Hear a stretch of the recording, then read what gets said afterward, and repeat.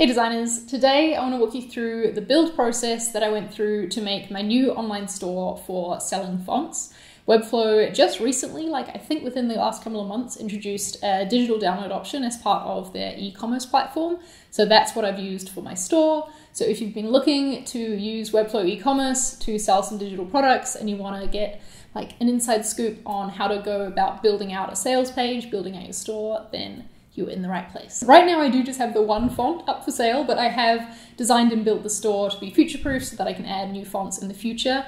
You can check out my current font Grayscale at charlimarie.store, and this video is actually very fittingly sponsored by Dot .store domains. I'm a big fan of TLDs like this, and I think that Dot .store is a great choice for an online store domain, either as well as or instead of a .com. Because firstly, there's going to be a lot more options available. So if your brand name, the ideal one you want to use for your store, isn't available as a .com, it's much more likely to be open and ready for you to use as a .store. And secondly, it tells you what it is right there in the name. When someone clicks on a dot .store link, they know they're heading to your online store. It's short, it's easy to remember. Now, because my online store is part of my like wider personal website, I have my .store domain set up as a redirect to the store section just because it's a much easier link to share. So huge thank you to .store for partnering with me on this video. And with all that said, let's get into it and let me show you the build of my store. Let me start by just showing you the page first off, and then I'll highlight a few different little things about the build of it. So this is my sales page for Grayscale. And there's this buy now button at the top that you can click and it'll scroll you right down to like the licensing section. Um, you know, just if someone's convinced straight away and they want to buy it, I didn't want to get in their way at all. So I have this little intro here that talks a bit about the font, and then I have my two different versions. So with my font, I sell a standard license and extended license. I talked about this more in the video that I did about the font making process, so I'll link to that on a card. You can go check it out if you so choose. But yeah, I have these um, two blocks here that show the differences between them with this checklist, so you're clear on what extra value you're getting basically with the extended license. Um, and that's shown also in the image here. You can see that with the extended license, you're going to get more stuff as well as the opportunity to use it for business and um, commercial web use. And then I have my little price in these flags up here, which I think just looked really cute. Here's where you choose the license just from this drop down. So if I click this, then this price will change out as well. Um, I have these images down here just showing some more examples of the font in use, and these are all a light box. So I can click on this and um, it'll display larger so you can get a better look. And then for the footer, I just used my regular footer that I have all across my website. If you haven't used Webflow e-commerce before, then I will just quickly say that one of the things that I love about it personally and why I like using it is that every step of the process is customizable and you can pick absolutely everything about the design you know, I feel like a lot of Shopify stores, especially the checkout flow, like looks exactly the same, right? Like you will have seen it before on other other shops. So yeah, I think it's really cool with Webflow e-commerce that you can completely customize the design of all of that, just like you do every other page on your Webflow site. So on my checkout form, I have this um, little thing sticking at the side here as you scroll down. And I didn't actually change the design of the checkout and the confirmation page from my previous online store. I should have said that at the start, that I used to have uh, a store where I sold prints. I closed that down because I just preferred to be dealing with digital products now in terms of logistics and shipping and all that, you know. So anyway, a lot of the design, um, especially like this menu up the top, already existed uh, from that previous version of the store, and this checkout did as well. So I'll focus most of my time in this video talking about this sales page, because that's new, and I'll leave a link to another video where you can watch specifically about the checkout process, because I did a whole series about the build of my last store using Webflow e-commerce.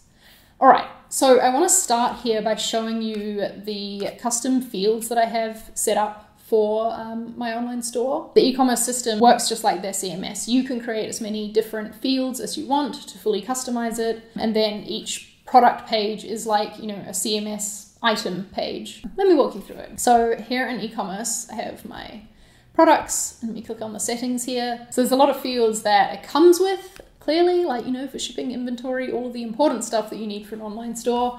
Um, but then we have my custom fields that I've set up down here. And like I said, a lot of this setup I did with the future in mind, thinking that in the future I want to sell more fonts, maybe even more different types of digital products as well. So um, this is why I've got these fields set up this way. So I have my category here where I'll be able to pick if it's a font or if it's, you know, something else in future. A description, the font name image. Unfortunately, in the Webflow CMS, you can't yet um, select a font in the CMS, if that makes sense. You can add colors in the CMS to use on each product page, but not fonts. So if I wanted to have the name of the font typed in the font on the product page, I needed to use an image of it instead of actually typing the font. I don't know. I hope that's something that maybe will come to Webflow in the future because it'd be really cool to just have the web font on the page, you know. Um, I've got my background image, and then I've got the image for each of my licenses, the standard license, the extended license. There's always going to be a bonus thing with an extended license. I decided that's the thing I want to do, so uh, that's there. And then we have the price for both, my demo images, which are the ones that you saw in the lightbox at the bottom. So even though I'm selling two different versions of my font, it is just one product in my store. It is just grayscale. And then the different versions of the font come in as variants of a product. And this part of an e-commerce tool is usually used to sell different sizes or different colors or something. But in my case, I'm using it to sell different licenses. And as you can see here, I can choose what I call these variants. So I have it set up to say license. Uh, in here in the variants is where you tell it that it is a digital product. So I have this includes download here, and then uh, I have my file name and the file URL, and this is how the delivery happens. You're setting it all up right here in the product itself. You also add an image to each variant, which you can see here. This isn't actually used anywhere on my sales page though. This just comes into play on the checkout page, you know, on the little block you saw at the side. Um, I did a bit of a hack to have both versions of my product displaying because that is not something that happens by default. So let me show you how I do that.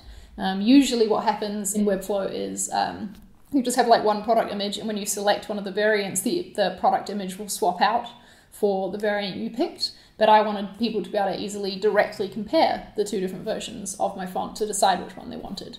Um, so let's come into how I've set up my page. So I have my navigation at the top here, like I said, that I built in my last online store. So that is a symbol, which means that if I make a change to it, it'll update everywhere that's used across the site. This is where I have my background image comes from the image field. So I'm always going to be able to pick a different image to use for the font. Like I want each font to kind of have its own identity and its own feel. And for this one, I went for sort of like concert vibe, I guess. Like I said, I'm future proofing this for my future fonts where I'm going to be able to swap that out and give them all their own identity and look and feel. Then I've got my image, and again, this is getting the image from products, it's selecting the font name image, and I also made it get the alt text from um, the description as well, so that if the image doesn't load or if someone is using a screen reader, uh, it'll say to them a handmade sans serif font. This buy now button, just to show you how I got it to scroll down the page if you wanted to do that too.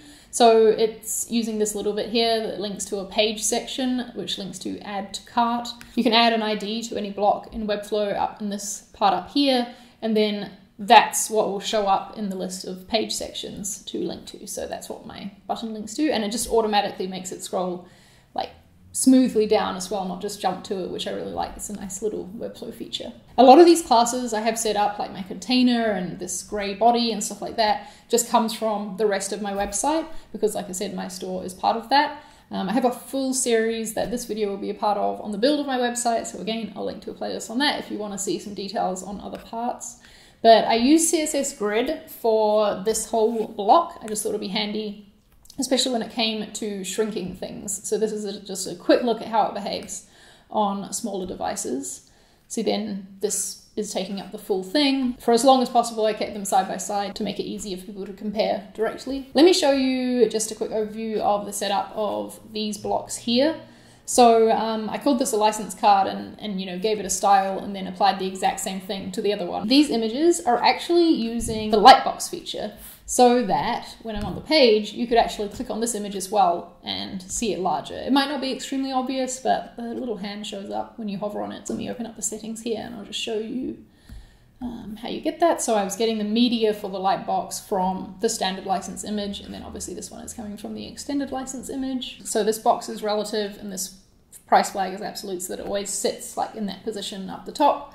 Um, no matter you know how much the box shrinks it always sits that far from the side. I did it as a background image, did I? Let me scroll down. Yeah. I've got the SVG as a background image, and then the price is on top, and that fetches from the standard license price field. And this is why I did have to set up those custom fields for the prices, even though you put the prices in again when you're setting up the variants. It's so that I could bring them out and have them both displaying on the page at the same time. I hope that's making sense. So these prices here are coming from the custom fields that I set up because I knew I wanted to display them both on the page at the same time. This one comes from the variant itself. So when I change the dropdown, it changes the price. So it's on me to make sure that I put the same number into these custom fields as I do when I'm setting up the variant. But you know, that's a pretty easy thing to make sure I've done right. So yeah, that means this block here is my add to cart element, which you get from the uh, Webflow like you know add panel that I just styled up to match how I want. I put all my own classes onto my buttons to get them to do what I want and get them to match the rest of my site. Same with styling all the text. You can completely customize the way all of this looks. These images down here are also light boxes, um, but first I put in a collection list. So um, to do that, I'm using this block here. So it's fetching this list of items from the demo images um, that I made as a custom field, remember, in my product. So within each specific thing of the uh, collection list, that's when I dropped in a lightbox um, and made it connect to the demo images for getting its media. And yeah, that means that when you click on it, it appears nice and large on the screen. And I just had these outside of any sort of container so that they're going to span the whole width of the screen. So yeah, that's a look at this sales page, which is actually like the extent of my online store really at the moment. But when I have more fonts, I'm gonna wanna obviously make a storefront page that lists all of the fonts on it. And the thing with Webflow e-commerce is it doesn't come with a pre-made template for that, right? Because the point is that you can do it all yourself. You can like get templates from the Webflow site, but it's not going to be a default that you get in your site. So when I come to do that, um, I'm going to add a new page. Let me just add a one now for an example to show you. And what I'll be doing is dragging in a collection list and I'll be getting that list of products from the e-commerce thing. Um, and then right now it's obviously only showing me grayscale, but when I have multiple, it would show all those products. I went into this in much more detail in my previous e-commerce store series, so I will leave a link to that for you to go check it out. But my point is that um, physical products, digital products, um, selling them on Webflow, making a store for them is very, very similar. The main change comes in in the product itself, where you just check that the variant includes um, a download. Yeah. And then the other thing to be aware of is on the order confirmation page, you're going to want to make sure you add in this downloads block somewhere on the page so that um, as soon as someone has paid and they reach this page, they can access the file that they just purchased. So this is what I have here, this um, in my design for my order confirmation page. It just appears at the side right above the items in the order and they can download it right there. So yeah, this is a, list, a little element that you need to drag in and add onto your page and then style it up however you want. All of these blocks come in like with some sort of pre-styling and I didn't veer much from them because I was like, eh, kind of like it how it is. But yeah, you can then move everything around within these blocks if you want to. If you do, for some reason, want to watch me build out the whole thing, I am going to upload a separate video that's like a speed build of the design and build. You obviously get less details on that because I'm just going to be speeding through it and doing it all. But you can watch that if you want and um, get a feel for my process. This store is part of my personal site. It's not a site on its own. So I did set up a .dot .store domain as a redirect to the store section so that it have something shorter, more memorable to share.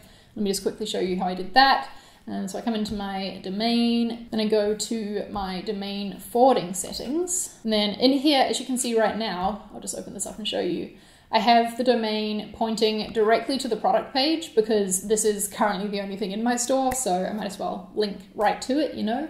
But it's going to be really easy to swap this out in the future when I do have like a proper storefront on my website.